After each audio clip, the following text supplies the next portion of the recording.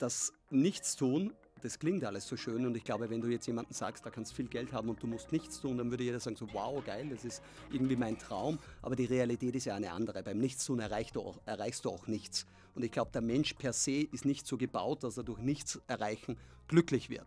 Und das ist halt bei mir total der Fall. Wenn ich nichts tue, keine Fitness oder kein Business, dann ist irgendwie zu leer für mich. Normalerweise müsste jetzt hier die Eurovisionshymne laufen, wie vor dem Eurovision Song Contest oder früher vor Wetten das. Und dann würde ich als Thomas Gottschalk sagen: Herzlich willkommen, liebe Zuschauer in Deutschland, Österreich und der Schweiz. Denn heute ist der vielleicht relevanteste österreichische Digitalgründer zu Gast. Florian Gschwandner hat mal Runtastic aufgebaut, später für viel Geld in Adidas verkauft, mit dem vielen Geld sehr viel investiert, gründet wieder neue Sachen. Er glaubt nach wie vor sehr, sehr stark an Apps, aber ganz anders, als man bisher an Apps geglaubt hat. Warum er das sieht, was er genau macht mit seinem ganzen Wohlstand und seinem ganzen Potenzial und seinen ganzen Optionen, das hat er uns erzählt. Also heute der Dach-Podcast mit Flo Schwandner. Auf geht's. Erstmal Moin Flo.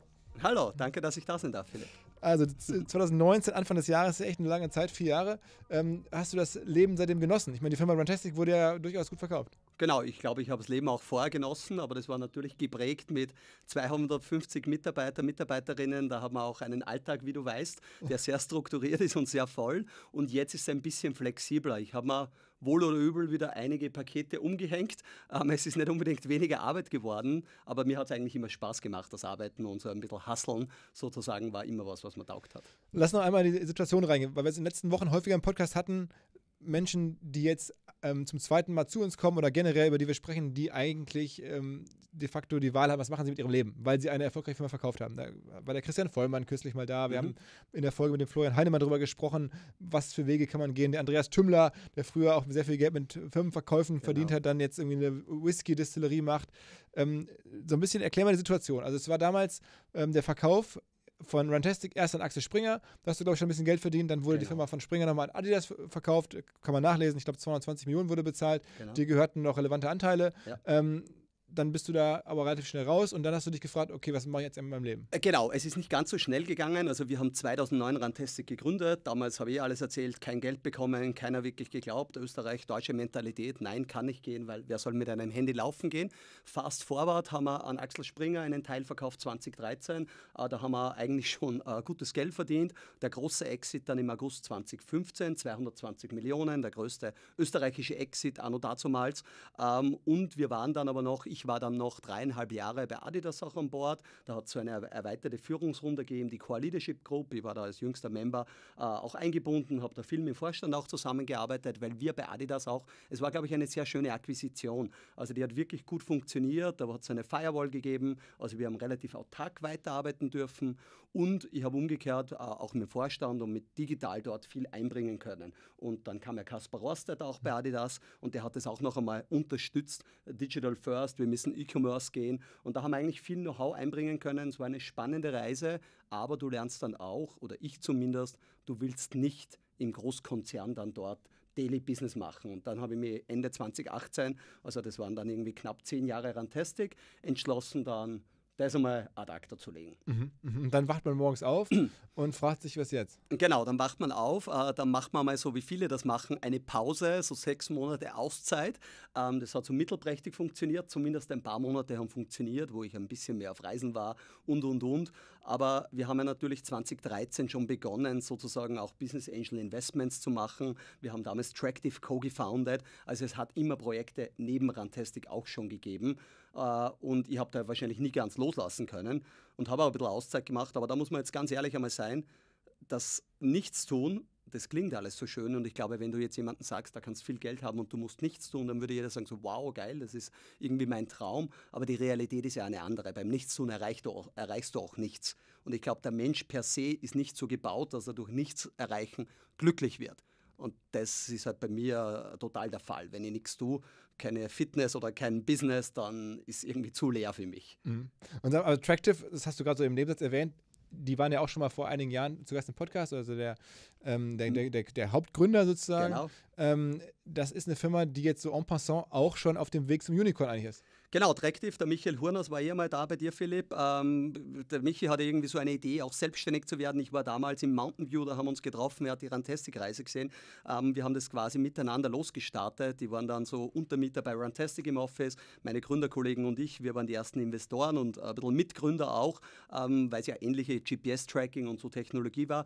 Äh, man muss jetzt aber auch sagen, ab dann hat wirklich Michael, dann noch zwei andere Michaels und der Wolfgang das Ruder übernommen und haben einen mega Job gemacht. Wir sind dieses Jahr wahrscheinlich so bei 100 Millionen Euro in Bookings. Ähm, wir werden jetzt auch dieses Jahr die eine Million Abonnentengrenze knacken. Sag mal kurz, was die Firma macht. Die Firma macht genau, Tractive macht GPS-Tracking für Hunde und Katzen. Das heißt, du gibst so einen kleinen Tracker auf das Halsband drauf ähm, und du findest dann den Hund. Es geht sehr viel um Safety und mittlerweile aber auch sehr viel um Gesundheitsdaten. Würde man gar nicht glauben. Ob die Tiere vital sind, wie viel kratzt sich der Hund, braucht er einen Tierarzt und so. Aber also, kann man das mittlerweile nicht einfach durch so einen Apple-Tag genau, lösen? Genau, gute Frage, weil viele haben dann gesagt, Apple kommt jetzt. Ja, Apple war auch ein guter Enabler noch einmal für uns, weil Apple funktioniert halt auch nur dann, wenn andere Smartphones rundherum sind ähm, und wenn der Hund jetzt in den Wald läuft oder in der Scheune oder in der Stadt irgendwo weg ist, funktioniert das sehr ungenau. Wir haben wirklich GPS-Tracking drinnen, wir haben Bluetooth da drinnen, wir können da ganz genau tracken und wie gesagt, Bewegungsdaten, Vitalitätsdaten und und und. Da kommt vieles dazu und du musst auch verstehen, Philipp, die Haustierbranche, die ist jetzt gar nicht so sensibel. Du gibst alles für deinen Hund, für deine Katze. Ähm, du kannst da gute Deals machen. Äh, wir haben auch eine tolle Partnerschaft hier mit Martin Rüttner, der da viel im Fernsehen ist, damit die Welpen kommen und so. Also es ist ein Riesenbusiness. Wir verkaufen online, kostet nur 50 Euro das Gerät und dann so 5 Euro Abo im Monat. Und wie gesagt, bald eine Million Abonnenten. Und, und der also, gehört noch ein großer Teil der Firma? Ein großer Teil nicht mehr, aber noch ein guter einstelliger Prozentbereich und äh, alles gut. Also ja. sollte noch einmal hoffentlich äh, in den nächsten Jahren oder wann auch immer, äh, da ist noch einmal einig, einiges möglich. Ja. Also auf jeden Fall für das, dass das sozusagen die zweite Co-Gründung dann war, äh, mega erfolgreich, aber da macht noch einmal das Management einen unglaublich guten Aber es wird dann ja vom Exit größer als Fantastic. Auf alle Fälle, ja, ja. Also das ist jetzt schon. Es war die letzte Bewertung. Wir haben eine Runde gemacht. Wir haben ein paar so kleine äh, Investments am Anfang gehabt, aber in Wahrheit haben wir nur eine Runde nach neun Jahren, glaube ich, jetzt gemacht, da 35 Millionen. Das war vor zwei Jahren und das ist public. Äh, darum darf ich es auch sagen, da waren wir, glaube ich, mit 231 bewertet. Und also 231 Millionen, Millionen genau. Für, ja. Es ist ja schon echt ein super ja. Erfolg für eine App oder für eine, für eine Firma, die ja was sehr naheliegend eigentlich macht, irgendwie Hunde und Katzen zu tracken. Ja. Äh, aber okay, muss man erstmal drauf kommen, muss man erstmal exekutieren. Genau. Und du darfst nie vergessen, es ist trotzdem ein Game. Hardware, du musst quasi alle Funktionalitäten von einem Handy, GPS, GSM, die Antennen auf kleinen Raum unterbringen, den Strom runterbringen, WLAN-Module. Das klingt so einfach, aber dann würden es auch viele machen. Es ist echt ein Hardware-Business. Und das ist schon, was da, da sitzen zehn Leute in der Firmware, Engineering und, und, und. Also es ist komplexer, wie oft im Leben wie so oft im Leben, als man glaubt. Das heißt, du hast dich da schon auch ein bisschen reingebeugt in die Firma? Also, äh, naja, am Anfang haben wir einfach mitgeholfen. Wir haben die Produzenten gehabt, wir haben bei Runtastic ja GPS-Uhren gemacht, wir haben Schrittzähler gemacht und so. Wir haben den gleichen Produzenten am Anfang verwendet, weil wir haben schon die Connections in Hongkong gehabt. Gerade am Anfang war es halt so ein bisschen ein schnellerer Start für Tractive. Der Michael ist von Amazon gekommen, der hat am Kindle Fire programmiert, der hat überhaupt gute Kenntnisse auch mitgenommen und äh, all das, wir haben natürlich viel von Runtastic eins zu eins kopieren können, wie bei der, sozusagen das Excel-File für die PNL und, und, und.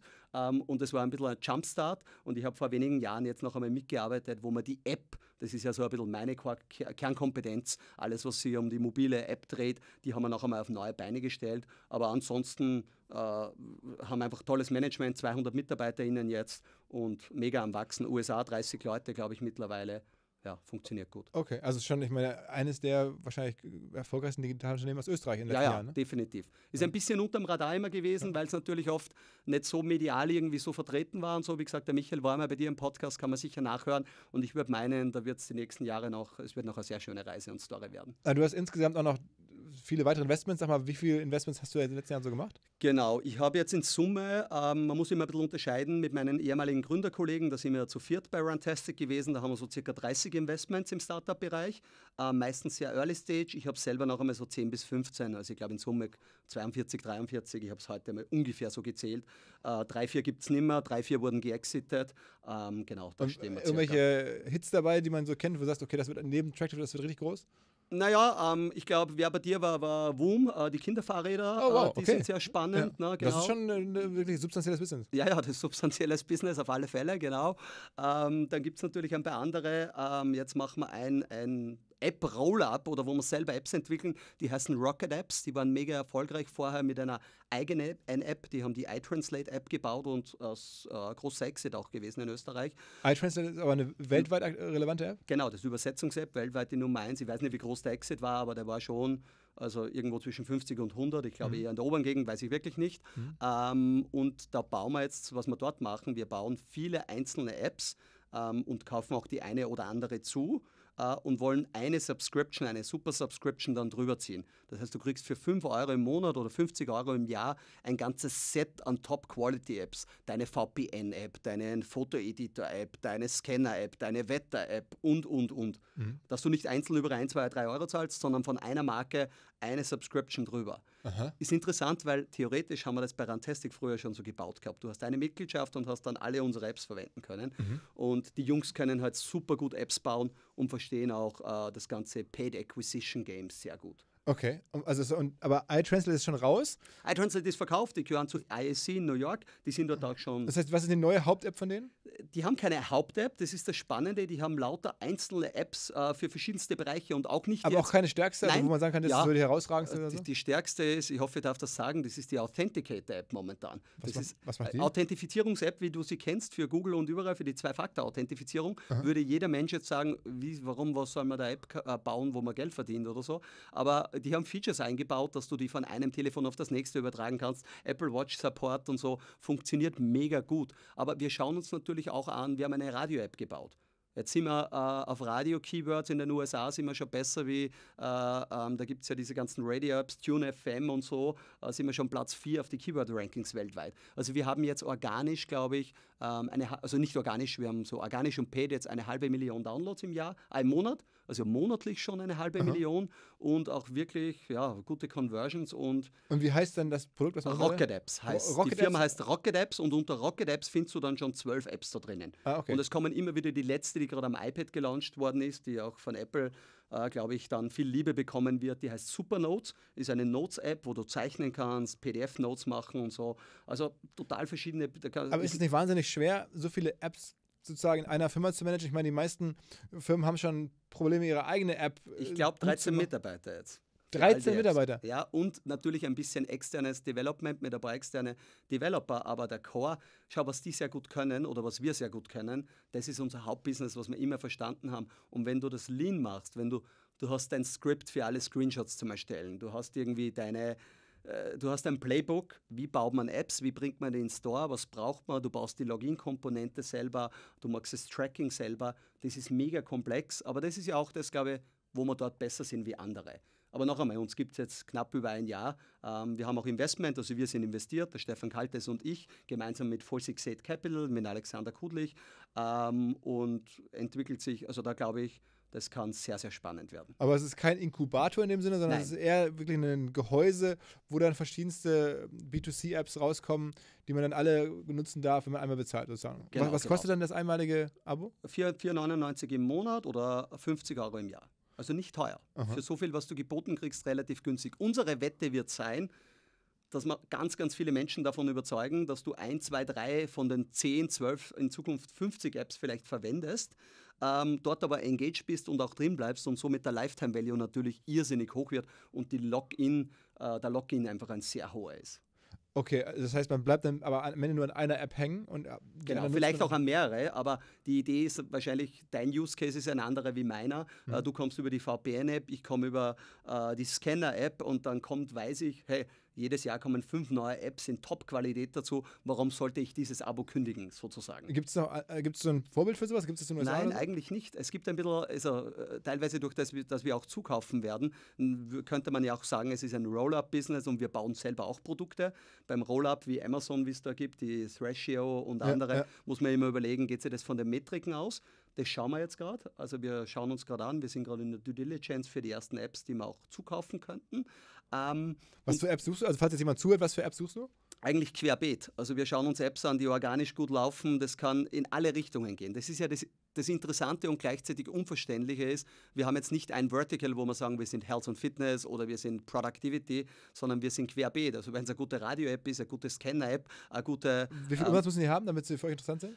Naja, die sollten schon, äh, ich sage, relevante Downloads haben. Also, die sollten schon Minimum ich sage im Jahr jetzt irgendwie ein paar hunderttausend Downloads generieren. Ne? Okay, also wenn jetzt hier jemand rumläuft, vielleicht ja, ein ja, kleines klar. Team, irgendwie zwei oder drei Leute oder so und, und haben 100.000 Downloads auf, bei irgendwas, genau. dann ist das so ein bisschen das so wie ähnlich wie die Amazon-Shops, die vor kurzem genau, gerollt wurden, äh, dass du sagst, okay, dann würden wir gerne sprechen und gucken. Ja, ja schauen wir uns sehr gerne an und schauen uns die Metriken an. Und genau, das Gute ist, im App Store kann man jetzt auch den Account schon übertragen. Das heißt, wenn das früher OMR war und das wird jetzt irgendwie äh, auf mich übertragen, auf meine Firma, dann kann man den Account auch mitnehmen. Das ist ein bisschen flexibler alles geworden. Ist generell so ein Trend. Ne? Also ich meine, so Amazon-Shops sind ja häufig auch irgendwie zwei, drei Personen-Businesses, wo man sagt, okay, am Ende verkauft man den Account. Die Personen gehen dann häufig auch raus, der, der neue genau. Owner nimmt dann einfach den Account. Das gibt es bei YouTube ja auch. Ne? Also, Natürlich, dass, dass ja, irgendwie auch. auch. große YouTube-Accounts einfach gehandelt werden, dann geht der bisherige Betreiber quasi raus und jemand Neues übernimmt einfach nur den Account, kriegt das Keyword und zahlt dafür im Teil Millionen. Ihr würdet ja auch Millionen bezahlen, logischerweise. Das, was wir uns gerade anschauen, ist natürlich alles im Millionenbereich. Ja, das geht nicht anders. Mhm. Und, und die, das, das sourst ihr dann, indem du jetzt hier davon erzählst und sich vielleicht Leute melden, aber was machst du noch? Ähm, sowohl als auch. Es ist auch outbound, ne? man macht Outreach, man schreibt auch andere an und fragt einmal und redet mit denen, weil man merkt eins, ich habe ja lange auch geglaubt, okay, ich baue ja selber gerade wieder Apps, über das können wir später noch reden, aber das Spannende ist, glaube ich, man sagt so, das App-Business ist irgendwie tot, aber das App-Business ist nicht tot. Das Verhalten hat sich geändert, aber auch äh, viele gute Apps gibt es auch nicht mehr, weil irgendwie das Gründerteam aufgehört waren, die sind gekauft worden, die haben sich verändert. Ähm, also man darf nicht unterschätzen, wie spannend das ist, äh, Business ist und wo auch Leute sagen, hey, jetzt habe ich sieben Jahre lang die App gemacht, die verdient ein bisschen Geld, aber ich muss sie warten, ich muss sie pflegen und ich möchte gerne was Neues machen. Und wir sagen, hey, cool, die können wir zu uns reinholen, wir bauen die Hülle neu rundherum, wir schauen uns ein bisschen an, dass das bei uns mit UI, UX dazu passt ähm, und können natürlich kostentechnisch das ganz anders rechnen. Und unser Gedanke ist natürlich auch das Cross-Selling. Du verwendest die eine App, wir können dir sagen, die zweite App passt auch gut zu dir. Das wäre die Idee. Aber noch einmal, wir sind jetzt gerade mal knapp über ein Jahr alt äh, oder eineinhalb Jahre alt, aber es geht in eine sehr gute Richtung. Äh, die ersten Metriken äh, zeigen sehr gut. Und die Gründer, wie gesagt, ich habe sie gesagt, in einem halben Jahr oder so, wenn wir da weiter sind, die werden einmal ein guter, ein guter Podcast. Schickst, schick, schickst du jetzt ja, bitte nein, rüber? Also, du bist ja unser Botschafter in genau, Österreich genau, sowieso. Die Österreich-Botschaft. sehr gerne, sehr gerne. Und ähm, du hältst ja die Augen offen. Ja. Ähm, also, wenn das soweit ist, sind wir gespannt. Aber ich meine, dein Leben äh, besteht aus sozusagen vielen App-Geschichten und es gibt noch eine andere, ähm, die hast du gerade schon angeteasert. Du baust jetzt auch wieder so ein bisschen als, als Zeithassel, sagst du. Genau. Ähm, was ganz anderes. Ja, genau. Äh, können wir auch noch äh, über Leaders werden wir noch reden. Das ist mein Startup, was ich mache. Aber was ich jetzt wirklich gerade mache, mein Side-Hustle, äh, um ein schönes amerikanisches Wort äh, einzufließen zu lassen. Also mein Nebenprojekt habe ich auch geschrieben.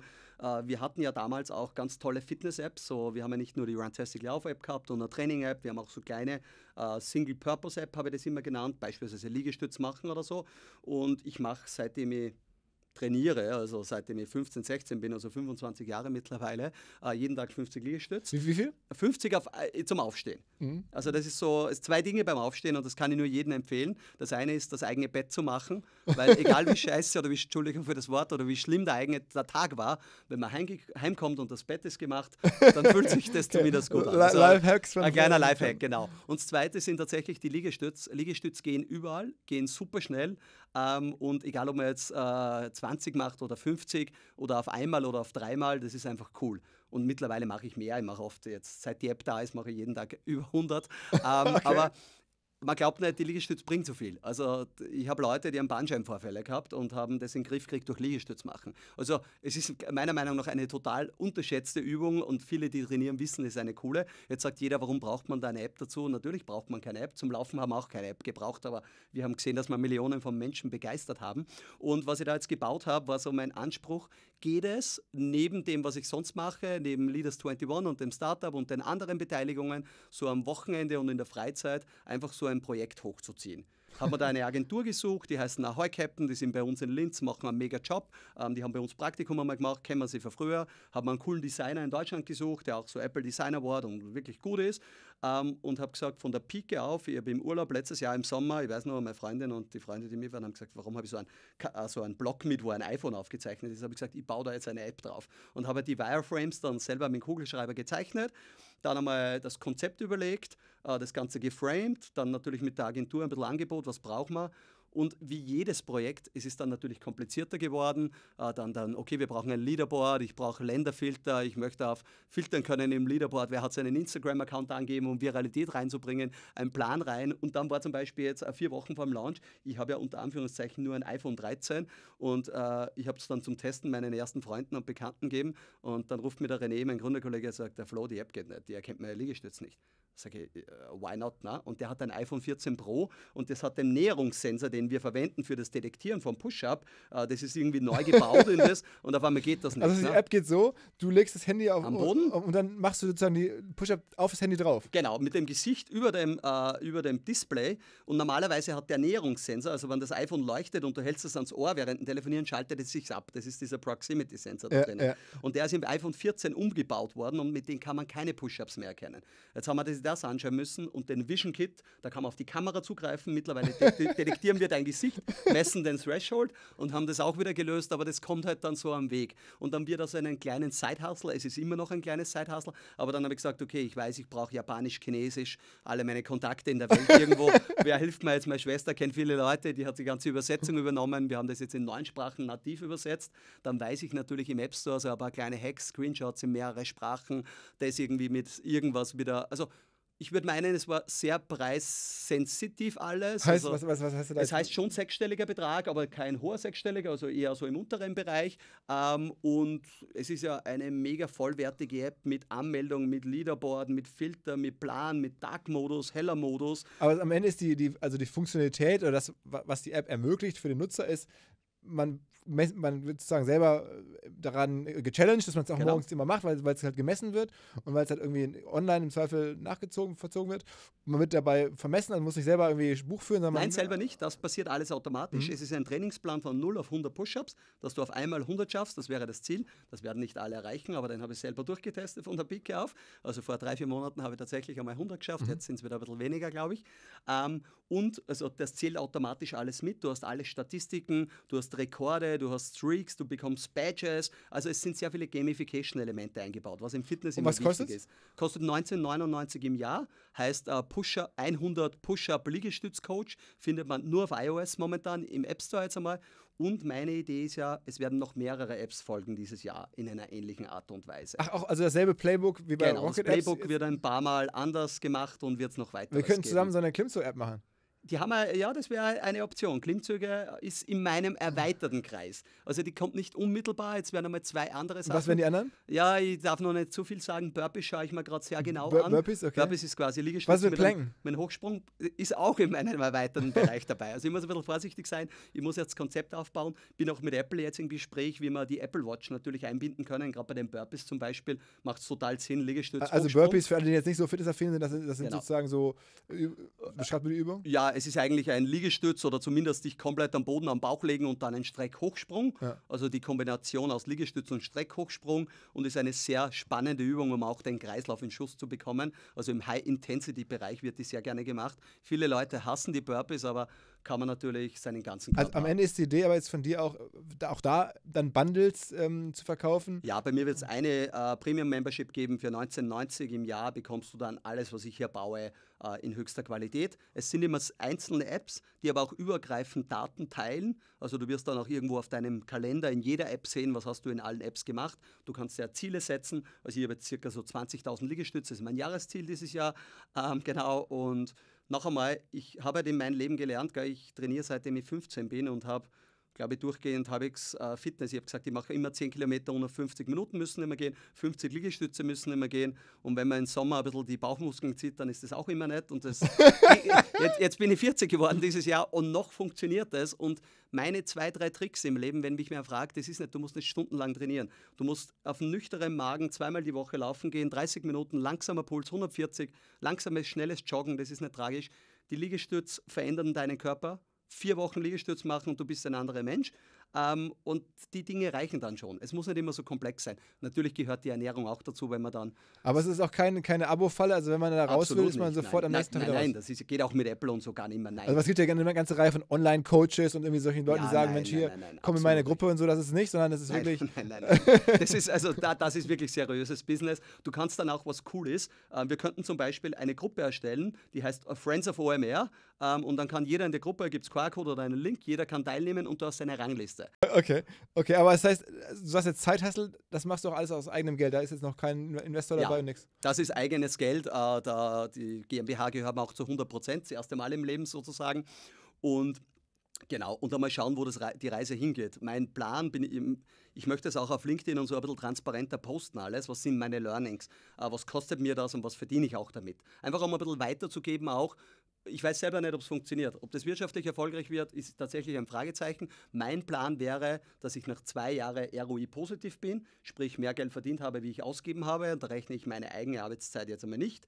Das ist hoffentlich konservativ geplant. Hoffentlich funktioniert das viel besser, aber die App-Welt ist eine neue geworden. Gibt es denn noch äh, g- überhaupt gar keinen Liegestützcoach oder Es sowas? gibt 1000, aber es gibt gibt 999 schlechte. Das war auch die Motivation. Ich habe auch reingeschrieben in meinen kleinen Pressrelease, die beste Liegestütz-App der Welt, ähm, weil ich immer glaube, wenn du ein Produkt besser machst ähm, und selbst ein kleiner Use Case, die Liegestütz, dann kannst du damit sehr erfolgreich werden. Aber noch einmal, da challenge mich gerne in ein, zwei Jahren. Äh, die App gibt es jetzt seit, seit Mittwoch, sind wir live, also seit ein paar Tagen bin ich jetzt live oder wie auch immer. Habe jetzt die ersten 1300 User drinnen, die ersten 20.000 Liegestütz wurden gemacht.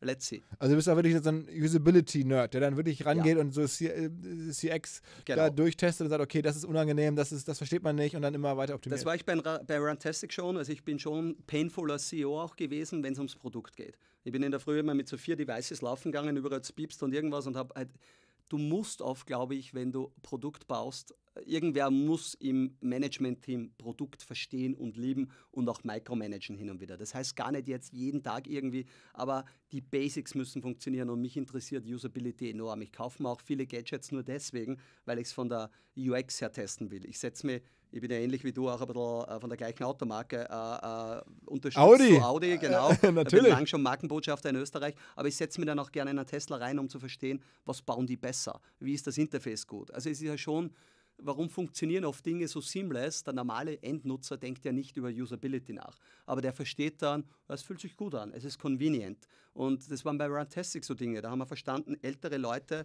ähm, brauchen einen größeren Stoppknopf wie der 19-Jährige und so. Und das ist alles irgendwo Usability. Und das taugt mir halt voll. Also das ist Gibt es irgendwelche anderen Apps oder Produkte, jetzt äh, abseits von Tesla, die du in den letzten Jahren so mit diesem, dieser Brille, mit der du durch die Welt läufst, gesehen hast, wo du sagst, okay, krass, das ist wirklich überraschend gut. Also ich meine, ich gucke ja durch die, immer in die Welt und wenn mir was auffällt, dann ist es meistens was mit Marketing, weil das ist so mein Mhm. Blick und dann denke ich mir, krass, das machen die aber clever.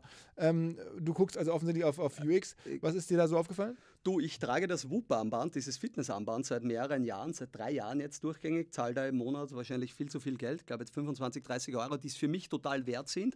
Die haben für mich meiner Meinung nach für ein Fitnessarmband, das war ja schon ein bisschen äh, Commodity, dieses Thema. Ne? Da war Fitbit und dann hat Xiaomi schon die Bänder braucht für 20 Euro und wir und jeder hat so irgendwas gehabt. Und die haben das noch einmal aufs nächste Level gebracht. Aber deswegen, weil die Software so gut ist.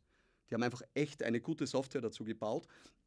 Ähm, vor allem für Schlafqualität, für Analyse, ähm, mit Podcast bespielen die das parallel extrem gut und so, ähm, wo ich mir gedacht habe, das war wirklich gute UI, UX vom Produkt, weil also das bin, ich, bin ich immer noch, wie du siehst, ich habe das jetzt schon Jahren droben und habe das wirklich 10, 20 Leuten äh, weiterempfohlen. Das hat, bevor ich es gewusst habe, gewusst, dass ich Corona-positiv bin, also zumindest haben es meine Daten gezeigt, also ich bin munter geworden, 2. November 2020, Ruhepuls statt 50, 68, äh, Atemfrequenz statt 16,5, 17,8 und habe gewusst, okay, ich habe mich noch gar nicht krank gefühlt, aber ich habe gewusst, ich muss eigentlich Corona haben. Habe Test gemacht, irgendwie 10 Uhr Vormittag, zwei Stricherl, okay, here we go. Und das hat mir irgendwie gezeigt, in der Diagnostik und so ist es enorm spannend, was da möglich ist. Also mir taugt auch so Longevity-Themen und so, schaue ich mal ein bisschen an, bin ja auch da Hamburg bei Nils Regge investiert und äh, Apollo geile Health. Geschichte eigentlich. ne? Hast du im Podcast, glaube ich, vor Jahren den Nils Ah mal ja, gehört. Dann hast du okay, mir, glaube ich, geschrieben, Ja. würde ich gerne kennenlernen. Dann hatte ich damals die Intro. Ja, genau so war es. Ja, bin ich Und dann- in seinem VC mittlerweile investiert. Ja, ja. Genau, bei ihm. Ja, genau. Und äh, ich schaue mir halt, was die, all die Themen an. Ich finde, was Apple macht, ist natürlich genial und ich sage da auch, die Apple Watch, the big Endgame ist, dass jeder so eine Uhr tragen wird. Und sie werden es schaffen. Die haben jetzt den Durchbruch gehabt bei der Blutzuckermessung gerade geschafft, dass in den nächsten drei, vier, fünf, zehn Jahren Blutzucker ähm, rein optisch gemessen werden kann. Und ich habe mir ein bisschen angeschaut, die haben jetzt da den 256G drinnen. Das heißt, die erkennen einen Autounfall zu 99,5 mal die 9 Prozent. Und wenn wir von der Diagnostik her kommen und du kannst deinen Eltern oder dir selber dann einmal, wir sind ja schon in dem Alter, das Ding umhängen und ich weiß, das wird meinen Herzinfarkt proaktiv erkennen oder das wird mir vielleicht dabei helfen, dass ich länger lebe oder eine Krankheit früher ähm, äh, sehe, ähm, dann hast du eigentlich keine Chance, das nicht zu machen. Und das ist schon spannend, weil du siehst jetzt auch, äh, ich bin ja auch mit Apple im Gespräch, wie wichtig die Apple Watch ist, auch für meine Apps sozusagen. Die wollen das schon und das ist auch fair und das macht auch Sinn. Generell, wenn man in den letzten Jahren so durch das Ferne verfolgt, macht es dir auch viel Spaß, Sachen weiterzugeben. Also du warst unter anderem auch Juror in der österreichischen Version von Die Hülle der Löwen, hast da eine Weile mitgemacht, auch da investiert mhm. in das Startup, du hast ein Buch geschrieben und jetzt äh, auch dann irgendwann entschieden, ich gründe eine eigene Academy. Also das ist ein nochmal separates Thema. Genau. Ähm, erzähl mal so ein bisschen, was dahinter steckt und vielleicht noch mal ein paar Worte zu, zur, zur TV-Show. Machst du die noch? Nein, die mache ich nicht mehr. Das habe ich zweieinhalb, drei Jahre lang gemacht. Aber da keinen Bock mehr gehabt? Na, keinen Bock gehabt, stimmt vielleicht nur bedingt. Äh, man muss fairerweise sagen, Österreich ist natürlich ein Zehntel von Deutschland ähm, und es war dann schon so, dass immer weniger digitale Startups in die Show gekommen sind. Und das ist trotzdem mein, äh, meine Passion sozusagen. Und ich wollte jetzt nicht äh, gar nicht despektierlich gemeint, aber in den nächsten Handwerker investieren, der irgendwas da erfunden hat und so. Und der Frank Thelen hat viel Geld verdient mit Food-Apps. Äh, mit Food, ja, äh, mit Food-Apps, ja, ja, das mag ich sagen. Food, ich bin selber in, Food, Food Firmen, ne? Also ja, ich bin selber, glaube ich, in zwei oder drei Food-Startups investiert, weil ein Freund von mir macht so einen kleinen Inkubator, also die haben 14 Beteiligungen, habe ich gerade heute im Flieger zufällig wen getroffen ähm, und bin in Frank Joes in München investiert und ja. und und. Also ich bin eh so querbeet. Aber was will ich sagen, zurück zur Show. Es ist dann natürlich irgendwann auch vom Aufwand, man darf nicht unterschätzen, wie viele Drehtage das sind und diese Nachbereitung, Vorbereitung Vorbereitung. Ich bin ein Single-Man-Show. Ich habe kein Backoffice. Ähm, ich mache alles nahezu selber, was äh, wo ich gern, wenn einmal jemand guten Input hat mit Virtual Assistant oder überhaupt mit, tut man das, wie kann man das gut machen? Ich habe die Lösung für mich noch nicht gefunden. Und dann habe ich irgendwann nach zweieinhalb Jahren, hat es aber auch wieder gereicht. Nur es hat schon, es fördert Unternehmertum in Österreich, in Deutschland. Man darf nicht unterschätzen, äh, es hat schon einen Impact, so eine Show. Das Buch hat auch einen Impact. Und das Schönste ist natürlich, wenn irgendwie der stolze Papa, die stolze Mama sagt, du, ich habe meinem Sohn, meiner Tochter das jetzt äh, auch gekauft oder wenn irgendwer sagt, boah, ich schaue mir die Sendung auch immer an, weil der 14-Jährige äh, schon mitdreht, wie kann das jetzt bewertet sein? Man darf das echt nicht unterschätzen und ich glaube, was wir in, äh, in Österreich und Deutschland zu wenig haben, ist einfach Unternehmertum, Entrepreneurship und auch so ein bisschen eine Grundausbildung was ist denn der Unternehmer? Wer ist denn das? Und es braucht mehr Leute wie ein Philipp Westermeier und jemand. Naja, wir investieren in die nächsten. Ich habe mit meinen Jungs, ich habe ein paar Zahlen mitgenommen mit die 30 Investments. Also wir haben zu viert jetzt, glaube ich, äh, knapp äh, nur in die Startups fast 20 Millionen Euro investiert. Wow, wow, ja. okay, das, das ist schon ernsthaftes Geld. Ja. Das ist schon krass, ernsthaftes. Geld. Schon, schon, schon, für manche ist es ein Fonds. Ja, ja, es hätte Fondsgröße, was wir da machen. Ja. ja. Wäre vielleicht eh gescheiter, dann wäre es ein bisschen strukturierter. Aber ähm, Wie hast du dann das restliche Geld Größenordnung angelegt, viel ETFs gemacht oder viel in Fonds investiert, also in, in größere Fonds? Was hast du da gemacht? Ich glaube, ja, ich habe es gar nicht so genau im Kopf, was ich gemacht habe. Ich habe es ein bisschen so versucht aufzuteilen. Also wie gesagt, wir haben in die Startups natürlich schon einiges drinnen.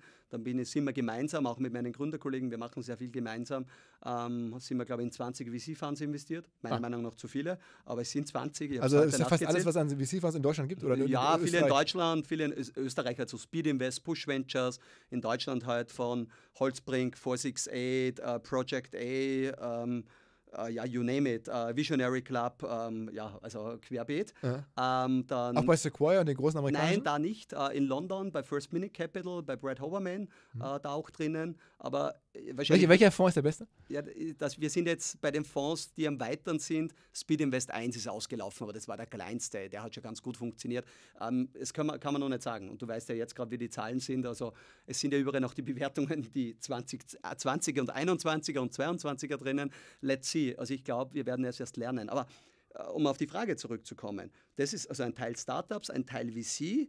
Dann haben wir auch, wie jeder, ein bisschen so das Private Banking äh, probiert. Bin ich da und dort enttäuscht äh, geworden oder muss man auch sagen, weil ich habe dann schon gelernt, später einmal die Zahlen selber zu machen. Da haben ja auch deine Podcast-Kollegen, äh, die Doppelgänger-Jungs, damals ihr Sheet gebaut, wo man relativ gut einmal sehen hat können, was macht denn eigentlich ein ETF mit weniger Managementgebühr, mit 0,25 oder so, äh, an Rendite über 10, 20, 30 Jahre. Also das ist jetzt mein Ein Bereich ist jetzt so ETF und selber, Long-Term Strategy, VCs, Private Equity, Startups, Immobilien, und dann noch ein bisschen. Das heißt, du hast ja dann ein paar Häuser gekauft sozusagen. Ich habe ein paar Wohnungen, wir haben ein Einkaufszentrum gekauft, das eine oder andere, also schon ein bisschen professionell. Nein, aber kleine, die sind jetzt, muss man aufpassen jetzt in Österreich. Eine sind, äh, hat ein Freund von mir leadmäßig das gemacht, äh, mit denen ich viel zusammenarbeite und das ist da irgendwie im Bad Ischl in Österreich, in so einem äh, schönen Ort und so. Das ist jetzt, jetzt nicht die riesen, riesen Summen, aber es ist doch ein, ein sauberes EKZ einfach. Aber sind Einkaufszentren die Zukunft? Ich hätte jetzt gedacht, dass in Zeiten von E-Commerce. Ja, das so darf man nicht unterschätzen. Natürlich in irgendwelchen Lagen, ähm, wo man so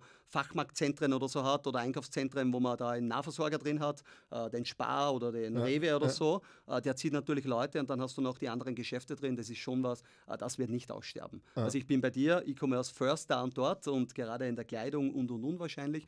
Aber es gibt immer Konzepte. Ein Freund von mir macht, äh, die, die, Firma heißt City Outlet, also die machen äh, hochwertige äh, Kleidungsprodukte sozusagen, aber zu Outlet-Preisen und so, die sind mega erfolgreich in Österreich. Die haben jetzt 14, 13, 14. Outlet eröffnet. Also ich glaube, man darf das nie ganz unterschätzen. Und Private Equity Fonds, ja.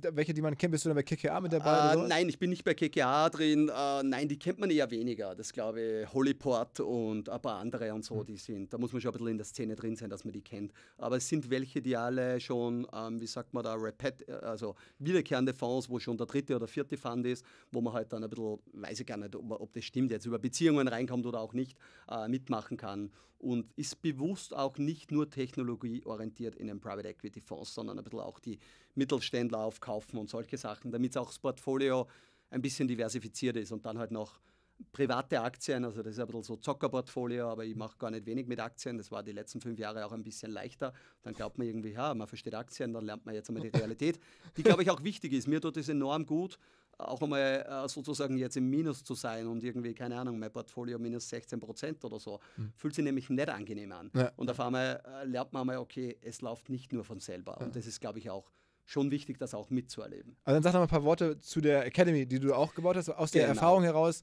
sozusagen ja. jetzt häufig gefragt worden zu sein, sozusagen die Öffentlichkeit auch als, als Person wahrgenommen zu werden, der sozusagen digital inspirieren kann. So, so kommst du mir vor, hast du dann irgendwann, okay, da mache ich jetzt mehr draus? Ja, zwei Dinge. Wir haben bei Rantastic 1 gesehen, wie wir von 100 auf 150 Leute gewachsen sind, sind wir viel zu schnell gewachsen. Ähm, wir haben die Leute nicht mehr so gut gescreent, die Teams haben nicht mehr funktioniert. Wahrscheinlich sind die Prozesse und die, die Aufbau-Ablauforganisation ist nicht mitgewachsen. Und da ist ein Mitarbeiter reinkommen, ähm, ein Kollege, der Thomas Kleindessner, ähm, der ist eigentlich äh, aus dem Consulting-Bereich gekommen, hat selber schon wirklich viel gesehen, Coaching-Ausbildung und so gehabt. Und der hat sich bei uns um die Organisation gekümmert. Also erstens einmal, dass es eine gute Mitarbeiter-Weiterentwicklung gibt, wie bauen wir Führungskräfte zusammen, wie trainieren wir Führungskräfte und wie bauen wir Teams auf, dass Teams High-Performance sind. Da haben wir damals OKRs eingeführt, Objective and Key Results, ähm, sind immer agiler geworden, Scrum-Methoden, bla bla bla. Und irgendwie hat der das hingekriegt, dass die Organisation auf einmal mit 150, 160, 170 Leute wieder gut gelaufen ist, wo du gemerkt hast, das, ich, also das kann ich nicht, das habe ich nicht so gut gekonnt wie er. Und der Thomas war jetzt noch lange bei Runtastic und vor zwei Jahren ist der Thomas zu mir gekommen und hat gesagt, du Flo, du weißt, ich wollte immer selbstständig sein ähm, und machen wir doch was gemeinsam. Und die haben mir erklärt, ja, wir können, aber du weißt, ich habe irgendwie damals 30 Startups und mache immer drei Sachen. Ich kann nicht mehr operativ CEO in einem Startup momentan sein, weil die Zeit habe ich nicht. Ich kann aber durchaus einige Tage operativ mitarbeiten, mein Netzwerk nutzen und wenn wir losstarten, dann haben wir ein bisschen diesen Vorteil, dass wir schon ein Playbook ein paar Mal hatten und ein paar Dinge wiederverwenden können. Und was haben wir gemacht? Ähm, wir haben das Unternehmen Leaders 21 gegründet. Also 21 deswegen, weil wir sagen, we equip people and teams with 21st century skills, also Skills, die man im 21. Jahrhundert braucht. Geht sehr viel um Soft Skills. Ähm, und haben dann zu zweit das Unternehmen gegründet. Zwei meiner Rantastic-Gründerkollegen sind da auch so teilzeitmäßig dabei. Die haben sich um den ganzen Tech-Stack gekümmert, haben dann eine kleine Investmentrunde, also wir haben letztes Jahr im Oktober jetzt, ähm, ich glaube, ja, eine Million, glaube ich, haben wir, äh, also 700.000 haben wir geraced mit Angels, Hansi Hansmann und tollen Business Angels in Österreich. Aber dann gibt es in Österreich ein paar Förderprogramme. Ich glaube, dass wir so knapp eine Million jetzt aufgestellt haben. Mhm. Und wir bauen, was machen wir? Wir glauben an die kontinuierliche Weiterentwicklung von Teams und Leuten. Wir alle kennen das. Wir machen ein Führungstraining, dreimal im Jahr, Offside-Event, alles ist super, nur die Führungskräfte. Am Montag kommen wir zurück ins Unternehmen, sind im Hamsterrad, E-Mail-Inbox ist voll und irgendwie alles verloren. Und wir bauen eine Software, eine Plattform, wo du jede Woche 30 bis 45 Minuten lernst, das ist so aufgebaut, Academy gibt dir Inhalt, aber kurz snackable Content. Dann haben wir einen Playground, wo du Dinge anwenden musst für dich selber. Eine Übung. Eine Übung ist beispielsweise, schreibe eine Bedienungsanleitung über dich selber. Wer bist du? Ich bin der Philipp. Äh, wie kann man bei mir einen goldenen Stern verdienen? Ich mag Pünktlichkeit und ich mag irgendwie, äh, wenn es locker runterläuft, was mag ich nicht so irgendwie? Und das machst du dann. Dann hast du dein Profil, das können andere anschauen und so lernst du jede Woche. Und was wir jetzt sehen, für viele Unternehmen, mit denen wir jetzt arbeiten, wir haben jetzt so die ersten 30 Kunden und die ersten hunderten Lizenzen verkauft, also B2B SaaS-Business, ähm, sehen dann auch, dass die auch das physische Training bei also uns Eure Kunden machen. sind Firmen? Unsere Kunden sind Firmen vom. Was kostet eine Lizenz? Äh, eine Lizenz kostet pro Mitarbeiter pro Jahr 360 Euro, also 1 Euro pro Tag sozusagen. Mhm. Ähm, und wir haben Firmen wie Adverity, das ist ein österreichisches Scale-Up mit 300 Leuten. Da haben wir die Führungskräfte von London, New York, Österreich gecoacht und das, äh, die Plattform für alle Mitarbeiter. Wir haben aber genauso andere Kunden, ähm, die äh, Mittelständler oder Großkonzerne in Österreich sind, die das für ihre High Potentials kaufen. Also man sieht überall, dass der Rollout ist jetzt einmal, man beginnt irgendwo. Da, es gibt bei uns einen Mitarbeiterpfad und einen Führungskräftepfad für beide. Und äh, wir glauben sehr, sehr stark daran, dass man Team-Performance in Zukunft viel mehr optimieren muss und viel mehr hier investieren muss. Weil wir alle kämpfen mit Mitarbeitermangel, äh, gute Leute gehen oft und wir alle sagen, uh, people don't leave companies, they leave bad management. Und das ist sehr oft der Fall, dass Leute gehen wegen schlechten Führungskräfte. Und da gehen wir rein. Aber noch einmal, uns gibt es jetzt seit zwei Jahren. Also was, was ist denn sozusagen der ARA, den ihr aktuell habt? Ähm, äh, da sind wir, also man muss unterscheiden, weil wir machen auch das klassische Consulting dazu, da macht man einen siebenstelligen Umsatz, aber das mhm. ist ein klassisches mhm. fades Consulting-Business, aber da lernen wir sehr viel und können zusätzlich zu unseren Lizenzen, wie gesagt, wir sind jetzt bei unseren ersten paar hundert Lizenzen, aber wir sind seit vier Monaten im Markt draußen und der B2B-Sales-Zyklus ist typischerweise ein bisschen länger, ähm, haben jetzt ein paar hundert Lizenzen, wir wollen dieses Jahr, ich glaube, 1250 Lizenzen ähm, ich glaube, irgendwie unsere ersten 200.000 Euro ähm, äh, eher machen. Okay, aber wenn es dann schon so ein, wirklich als Business gedacht, dass dann auch äh, ja, am Ende ein, nein, nein, ein SaaS-Business. Ja, ja, komplett. Ähm, nein, nein, das ist ja schon, schon jetzt irgendwie das, was man heutzutage ja, richtig ja, ja. finanziert bekommt und, und was groß na, werden kann und so. Ein, 100 Prozent. Also, wie gesagt, es, geht um, es geht um Weiterbildung im weitesten Sinne genau. in, im B2B-Kontext für, für, für, für Mitarbeiter und Führungskräfte. Mhm. Und wirklich auch, wie du Teams zusammenbaust. Also wir glauben auch durch das Peer-Learning, beispielsweise jemand lässt ein Buch und hat Erfahrungen dazu, teilt das im Unternehmen. Andere haben das auch gelesen, teilen ihre Erfahrungen dazu, wirklich auch Peergruppen zusammenzubringen. Weil beim Lernen das größte Problem, was man auch bei der Duolingo-App oder wie sie alle heißen, Busu und Co., Entschuldigung, pardon, was man dort hat, ist Lernen wird irgendwie, äh, geht das Engagement nach Monaten nach unten. Darum brauchst du mehr, darum brauchst du auch den Austausch. Und gerade jetzt mit Remote-Arbeit, mit Hybridarbeit, sehen wir natürlich auch, dass der kulturelle Aspekt im Unternehmen verloren geht. Wenn du deine Führungskraft sechs Monate nicht gesehen hast, dann geht irgendwann die Loyalität auch weg. Dann wechselst du auch leichter das Unternehmen. Wenn du aber gemeinsam lernst, gemeinsam Dinge auch wieder auf einer Plattform äh, gemeinsam schaffst, glauben wir schon, dass du daraus alles auch stärkst. Und äh, die Analogie, meine Rolle da drin ist ein bisschen, der Thomas ist der Kapitän am Spielfeld, um im Fußball zu sprechen. Und wir haben ganz viele tolle äh, Mitspieler. Und ich bin wahrscheinlich ein bisschen auf der Seitenbank schon so eher die Trainerrolle, weil ähm, ich versuche, Akquise zu machen für neue Mitarbeiter, für neue Kunden, ähm, im Produkt mein Know-how weiterzugeben, aber es ist bei jemand anderer, die Challenge ist bei uns VP of Product, baut das Produkt und ja, let's see. Also mhm. ist auch für mich eine ganz neue Also Rolle. ich, ich versuche mal das, das, das Schwandnersche Portfolio einmal kurz runterzubrechen. Also es ist sozusagen Foxy Fitness, das neue, das, der Side-Hustle vermeintlich mit genau, den, mit ja. den Fitness-Apps, äh, den Liegestützen vorneweg. Ähm, dann ist es die, die Leaders 21, also genau. das, das, das SaaS-Business für, für B2B, Führungskräfteentwicklung und Mitarbeiterentwicklung. Richtig. Ähm, dann ist es ein Portfolio an, an äh, Startups und vor allen Dingen Tractive, also einem jetzt mittlerweile schon von Grown-Up oder potenziellen ja, ja. Unicorn, mhm. ähm, was du da so hast. Und dann ist es ein dann sind es halt noch Einkaufszentren und weitere ja, Investments. So. muss man den Ball, Ball flach halten, bitte. Nein, aber, aber, du hast mir auch gesagt, von Private Banking-Sachen zum Beispiel warst du eigentlich gar nicht so begeistert. Also das hat dich nicht so, also ne, wenn man dann ein gewisses Vermögen aufgebaut hat wie, und das auch erkennbar ist, wie es bei dir, dann ist es halt auch so, dass sich Banken melden und das dir helfen wollen. Ähm, das, also Vermögensverwaltung hat bislang für dich nicht so gut funktioniert, sagst du. Ja, muss man sicher vielleicht auch individuell jetzt aufpassen, kann man nicht alle über einen Kamm scheren wahrscheinlich, weil vielleicht haben wir da und dort auch einfach Experience gemacht, die nicht zu uns passt. Ich glaube, es ist ein totaler Unterschied, will jemand sein Vermögen verwalten und will jede Woche oder jedes Monat angerufen worden, äh, werden vom Bankberater und sagen, so schaut äh, makroökonomisch der Markt aus und, und, und, diese und diese Handlungsempfehlung. Äh, wenn du aber selber eine Affinität hast und wie gesagt, ich höre Podcast und ich tue gerne Dinge selber mit meinen Sachen und dir dann einmal nur den Zinseszinsrechnung bewusst machst, der Compounding-Effekt, das achte Weltwunder, wie man ja so schön sagt, ähm, dann ist natürlich auch nicht unspannend, einfach in einen Low-Cost-ETF reinzugehen und dort ein bisschen diversifizieren. Und wenn du dann auch ein bisschen Immobilien, das ist vielleicht jetzt nicht spannend, aber das habe ich schon irgendwie immer gelernt, äh, eine Immobilie bleibt und steht und bringt irgendwo Einnahmen und äh, es gibt ja die drei wichtigsten Regeln in der Immobilienwelt, die sind Lage, Lage, Lage. Ähm, das verstehst, dass du Assets in guter Lage hast ähm, und kommst dort irgendwie hin, weil du auch Netzwerke und und und hast, dann ist das, glaube ich, ein spannendes Spiel und am Ende des Tages musst du diversifizieren, glaube ich halt. Und dein, dein, sagen wir mal, weiterer Lebensentwurf, das hast du ja bis 40, ähm, das läuft jetzt die nächsten Jahre so weiter oder gibt es noch irgendwie einen, einen, größeren Zweck? Also ich meine, viele Leute fangen ja auch an, sozusagen also über, über ja, Herausforderungen ja, der ja. Welt, abseits von, von wirtschaftlichen Fragen, Nachhaltigkeit, Engagement in sozialen Fragen oder in, in, ökologischen Fragen vielleicht aktuell. Ist das was, was dich auch umtreibt? Treibt mich äh, um, ist aber so, es gibt zwei große Projekte. Das eine, ich werde jetzt erstmalig Papa im Juni, das erste Mal Papa, genau. Okay. Das ist eigentlich äh, das größte Projekt, das auf mich zukommt und auf, auf das ich mich sehr freue, ähm, weil es auch einfach super ins Leben reinpasst. Glückwunsch, Glückwunsch. Und, äh, danke, danke.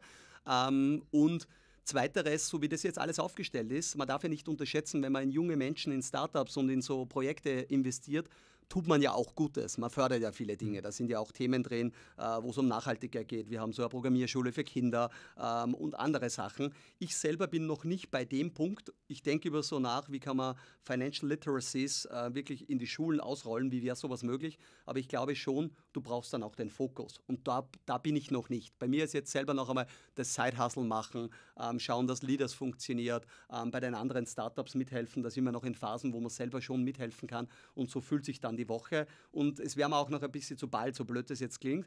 Ähm, aber es kann sein, dass in fünf Jahren vielleicht der Fokus schon ein ganz anderer ist. Hast du den, den Podcast mit Christian Vollmann gehört? Habe ich gehört, habe ich heute, genau, habe ich heute. Der, der, der wirklich sagt, er sieht sich woanders, er, er fühlt aber sich woanders gebraucht. Ne? Spannenderweise auch durch seine Kinder getrieben, wie ja, er erzählt ja. hat, na, wo der Sohn gesagt hat, Papa, was machst du? Ich bin Unternehmer, was heißt das? Ja, was tust du? Was machst du für den Klimawandel? Machst, also genau. ich glaube auch, äh, man muss auch dem, das muss auch irgendwo herkommen dann und so. Mhm. Und äh, klar, wir haben einen riesen Bauernhof zu Hause, ich bin ja sehr, bin ja Landwirtschaftsschule gegangen, mir sind ja viele De Themen da sehr, sehr bewusst und ich glaube, und das ist auch wichtig zu verstehen, man muss eh anfangen, was zu tun, aber man muss bei sich selber anfangen und das geht ja mit kleinen Dingen los. Man reist vielleicht äh, mit der normalen Trinkflasche und äh, nicht immer mit der Plastikflasche. Äh, man schaut da und dort, wie kann man mit Strom umgehen und, und, und. Und ich glaube, da versuche ich auch einige Dinge für mich zu machen, aber die haben sicher noch nicht den Impact, wie der vielleicht sein könnte, ähm, aber kann ja noch einiges kommen, ist ja noch ein bisschen Zeit. Und dann ansonsten hast du auch ein paar andere Hypes ausgelassen, auch scheinbar ganz bewusst. Also ich meine, du bist jemand, der, da an der, vorne dran ist an den Themen, aber wir haben jetzt nicht einmal über Krypto gesprochen, ähm, was ja die letzten Jahre also zwischen unseren Podcasts quasi auch gelegen genau. hat. Ähm, und scheint so, als wenn es an die vorbeigegangen wäre? Nein, ist es nicht. Ähm, gut und schlecht. Ähm, ich bin in Krypto investiert, jetzt einmal als privater Krypto-Investor, aber ein kleine, kleiner Bereich. Äh, äh, bin in einem Startup, Companion heißen die in Österreich ähm, die einen sehr guten Job machen. Die machen quasi, die verwalten dein Portfolio dafür. Das heißt, du gibst Geld rein und dann gibt es verschiedene Portfolios, wo sie sagen, wir machen Ethereum und wir machen äh, diesen Coin und diesen Coin sozusagen. War natürlich eine mega schwere Zeit, haben auch ein paar Layoffs gehabt, aber das Team macht einen sehr guten Job, wollen auch gerade ein bisschen pivoten ähm, in andere Richtung.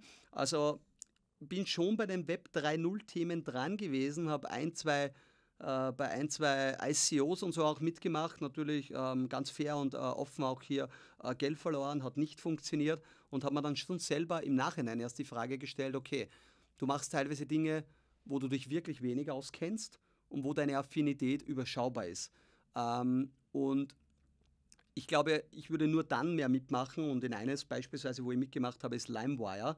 Das sind Österreicher, die schon das dritte Unternehmen gebaut haben, äh, sehr erfolgreich. Die haben die Marke LimeWire, diesen äh, hat ja Peer-to-Peer MP3-Player, also wo du runterladen hast können damals, mhm. haben die Marke gekauft und die bauen sowas Web 3.0-mäßig jetzt um diese Marke herum. Da habe ich investiert. Also das sind schon, ich glaube, es sind drei oder vier äh, Investments im Kryptobereich. Ich bin auch in Jan Beckers Kryptofund drinnen, aber Natürlich sind da jetzt über die Zahlen nicht so. Okay, der nächste, ja. nächstes großes Hype-Thema AI. Wie sieht es da bei dir aus? Ähm, bin ich Anwender, aber tatsächlich jetzt ähm, nirgendwo äh, im Investorbereich drinnen. äh, weil ich mich wahrscheinlich auch zu wenig auskenne in dem Bereich, weiß aber unter anderem, ähm, dass dann Funds, in die ich investiert bin, so wie 468 Capital, äh, da natürlich einiges machen. Also da bin ich dann schon ehrlich, wahrscheinlich kenne ich mich dort zu wenig aus. Ich schaue mir jetzt mit ChatGPT ähm, Dinge an, wie kann ich das anwenden für mich, wie kann man das vielleicht ich glaube, da wird es ja einige Unternehmen geben, die sich daraus entwickeln, die die Technologie sozusagen verwenden und darum was Neues bauen. Das ist schon spannend. Oder Story äh, Clash kennst du vielleicht, ähm, die quasi auch AI nutzen und schon genutzt haben, um im Social Media Bereich hier äh, Dinge zu erkennen und Instagram-Influencer und TikToker zu finden, die vielleicht zu einer Marke dazu passen. Also Jetzt kann man das immer im, im, erweiterten Sinne, ist man da und dort investiert, aber es ist auf alle Fälle nicht mein Fokus. Mhm. Geht sich auch ganz ehrlich, irgendwo zeitlich äh, die eigene Geschichte und und und äh, nicht aus. Und ich habe ein bisschen einen Investmentstopp auch für mich selber. Weil du merkst dann bei 40 Startups, deinen eigenen Projekten, die Qualität, die du liefern kannst, lässt nach. Und das ist ja nicht immer der Zweck der Und Sache. die Firepower ist immer weg. Ja, die Firepower ist, glaube ich, schon. Also, ah, du meinst ja, ja, Geld natürlich. Ja, ja das ist auch, ja, auf alle Fälle. Ich bin auch relativ durchinvestiert. Also, mhm wenn mich der normale Banker oder so einschätzen würde und da gibt es fünf Stufen, da bin ich wahrscheinlich bei 5,8 unterwegs. Also, aber das ist auch irgendwie das Leben wieder so, das finde ich auch spannend. Und das ist aber auch gut so, weil äh, wenn dann die Firepower weg ist, dann tut man es ja auch im Nein sagen dann Also 5,8 meinst du auch, das heißt, dass du das Geld, was du über das verfügst, die Liquidität ja, ist, nicht, ist angelegt? Na, ja, tatsächlich schon. Also ehrliche Aussage, äh, ja jetzt ein bisschen eine Reserve, glaube ich, wenn man mit Geld umgehen kann und hoffentlich gut das macht. Das sollte man sich schon ein bisschen einteilen, dass man noch eine Liquidität hat. Aber ich habe dort und da auch ein bisschen Leverage drinnen, aber alles im normalen Ausmaß. Aber natürlich, ich könnte jetzt nicht da das riesennächste Investments gerade machen. Mhm. Aber ist auch gut so. Äh, darum sind ja auch VC-Investments und so Dinge oft ganz gut, weil die binden dich halt auf 10 plus minus zwei Jahre. Ne? Mhm. Ähm, Finde ich ganz intelligent auch. Sag mal kurz zu den Apps, ähm, weil ich da so drüber nachdenke, was du erzählt hast mein Gefühl ist und die, die, was mir immer so gespiegelt wird, ist, dass die Menschen einfach viel zu wenig Apps überhaupt noch installieren. Also früher hat man mhm. irgendwie, weiß nicht, einmal die Woche eine neue App genau. irgendwie äh, kennengelernt, dann installiert, ausprobiert. Heute ist die Frequenz total niedrig. Du hast dieselbe Homescreen wie vor einem halben Jahr oder wie vor einem Jahr, da kommt kaum noch was dazu. Ist das falsch? Ja, das war auch mein Gedanke und äh, unsere Überschrift, die wir so bei Rocket Apps gemacht haben, die heißt auch, die App Store is broken die Experience in die App Store ist broken. Und das stimmt, glaube ich, wenn man jetzt mit Apple redet, die sagen, der App Store hat Aufrufe, ich weiß jetzt gar nicht im Monat oder wann auch immer, 600 Millionen, die in den App Store reingehen. Aber meine Aussage war selber, hast du, du die letzten drei Monate eine App runtergeladen? Ähm, wenn nein, dann bitte die Foxy Fitness laden. Na, Scherz. Aber was will ich sagen damit? Das ist ein Gedanke, der halb richtig und halb falsch ist. Ähm, was bei uns damals noch viel mehr der Fall war in der Rantastic-Zeit, dass organisches Wachstum da war. Leute mhm. sind aktiv reingegangen, haben gesucht nach Laufen, nach Fitness, nach äh, Wetter oder was auch immer. Und mittlerweile hast ja du deine Apps, deine das ist ja wie Instagram. gefunden. Früher hast du ganz schnell ganz viele Follower gehabt, glaube ich. Und jetzt genau. hat mir vor kurzem Joko erzählt, ähm, hat er seinen Account neu gestartet, genau. äh, da, weil er den alten ja weggegeben hat. Mhm. Ähm, und wundert sich, dass das kaum wächst, obwohl er nun ein bekannter Name ist. Äh, und das erscheint mir also ähnlich im App Store. Super Früher schöne Analogie und genau dort fängt man jetzt an. Du musst mittlerweile äh, Paid Marketing machen. User Acquisition im App Store ist ein Muss. Wir bei Runtastic, wir haben ja de facto fast nie ja, wir haben dann schon bei Facebook und so Geld ausgegeben, aber im überschaubaren Maß und hatten tagtäglich 150.000 plus organische Downloads. Mhm. Die Zeit ist vorbei. Das heißt, du musst Metrik optimiert sein, aber der Markt ist immer noch groß genug. Man darf nicht unterschätzen, es sind da, ich weiß nicht, wie viele Milliarden Smartphones da draußen ähm, und Leute suchen immer wieder Sachen und manche Dinge verschwinden und es gibt neue Sachen. Also das ist eine Wahrnehmung, die wir haben, dass der App Store nicht mehr, dass da nicht mehr viel passiert. Aber ich bin ja durch Rocket Apps, durch meine eigenen Apps und so da viel unterwegs und ich sehe jetzt erst, was da wieder möglich ist und wie viele auch Apps mit einer, ich kenne eine App, darf ich jetzt äh, die Zahlen nicht genau erzählen, aber die machen eigentlich mit einer Single-Purpose-App, die nicht so groß ist, wir machen halt irgendwie drei, vier Millionen EBIT, ne? Äh, mit einem kleinen Team mit sechs Leuten. Und sowas ist halt schon spannend.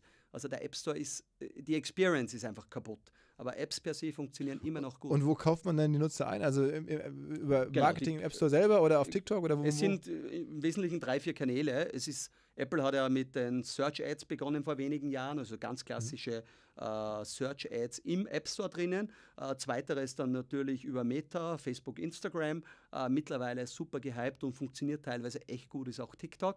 TikTok hat als erster, auch sehr spannend, weiß ich erst seit zwei Wochen, einen eigenen Creator Marketplace gebaut. Also ähnlich, du kannst da Lookalikes-Gruppen machen. Also für mich, ich bin da jetzt reingegangen, habe geschaut, äh, ich möchte jemanden haben, der Push-Ups macht, der, sage ich jetzt einmal, weiß ich nicht, zwischen 20 und 40 ist, äh, irgendwie Fitness und so in seinem äh, Profil irgendwo drinnen hat. Und dann kannst du drinnen sagen, ich biete für ein, also TikTok sagt dir, okay, Reichweite in Deutschland gibt es da jetzt noch irgendwie 3000 Influencer, die da reinpassen, die ungefähr Reichweite XY haben und ich sage jetzt, ich biete 300 Dollar für einen Post, der so und so was macht. Irrsinnig spannend. Ich habe leider noch keine Zahlen, weil die App erst seit ein paar Tagen da ist, aber da fange ich gerade an und das sehen wir auch ähm, bei Rocket Apps, ähm, dass das enorm wichtig ist. Du musst aber natürlich auch deine Metriken, und das ist die Schwierigkeit, weil Apple hat ja jetzt ATT, das App Transparency mhm. Tracking, mhm. wo ja 80 Prozent, glaube ich, sagen, nein, ich erlaube nicht, dass, äh, werde, ja. genau, dass ich getrackt werde. Da musst du dir selber deine eigenen Metriken bauen und selber zu versuchen zu verstehen, wenn ich jetzt ein TikTok-Video live schalte, was passiert in meiner App. Und da, das ist eigentlich der, der, tricky Part mittlerweile geworden. Nur wenn man das versteht, kann man natürlich wie früher wieder, das ist ja immer die, die einfache Rechnung, Customer Acquisition Cost versus Lifetime Value, am besten irgendwo ein Faktor 3 dazwischen und skalierbar, wenn das möglich ist, dann gibt es auch großes Investment, so war es zumindest früher, aber es ist schwieriger geworden. Okay, okay, okay. Also, ähm, wahnsinnig viel drin. Ähm, äh, großes Paket, aber es waren jetzt ja auch vier Jahre oder über vier Jahre genau, ähm, Lebenszeit von dir. Mal gucken, was äh, dann sozusagen, jetzt haben wir 23, in, machen wir das nächste Update aller spätestens in, in 27. genau. mal gucken, wo du dann stehst. Dann hast du auf jeden Fall schon äh, Kinder im Alter von mindestens mal vier. Äh, genau, äh, mal gucken, was passiert, ähm, dass die, wie das dich dann wieder ähm, zu neuen Taten motiviert. Ähm, vielen Dank, dass du vorbeigekommen bist. Ja, sehr gerne. Danke, Philipp. Also immer gerne dabei und unglaublich auch, was sie aufbaut. Es ist ja auch schön, wir haben uns ja auch kennengelernt. Da war die OMR noch ganz was anderes. Ne? und ich bin heute das erste Mal hier durchs Büro gegangen, auch in Hamburg. Also wirklich Hut ab, Gratulation. Äh, guter Vibe, das Festival ja auch wieder bald. Also alles cool. Danke, vielen, danke. Vielen Dank. Vielen, vielen Dank. Ciao, ciao. Ciao.